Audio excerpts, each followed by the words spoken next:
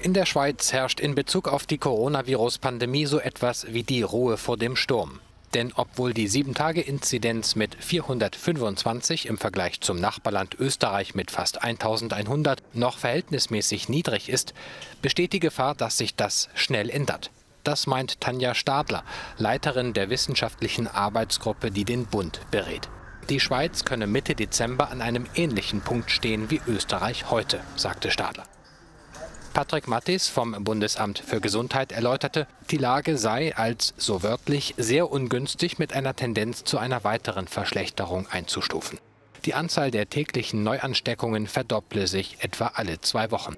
Gegenlenken ist nach Einschätzung der Behörden durch eine Impfauffrischung sowie entweder durch eine Maßnahmenverschärfung oder mehr Eigenverantwortung der Bevölkerung möglich.